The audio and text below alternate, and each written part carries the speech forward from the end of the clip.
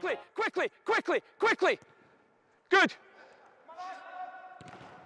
Well done. Okay.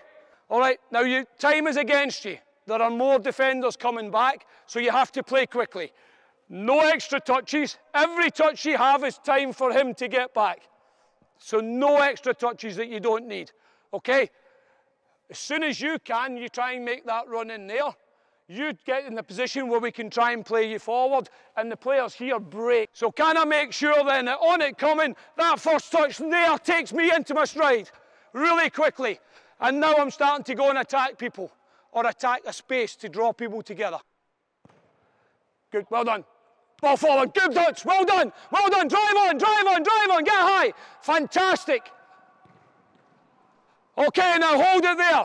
That is terrific. That's terrific. That's terrific as well. Well done leaving that, keeping away. You, if, now what might happen is they might come over a little bit further. Now you might get your chance. Doesn't matter who scores.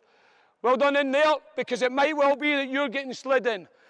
A really good run for you is to run inside the fullback because he might just get slipped in.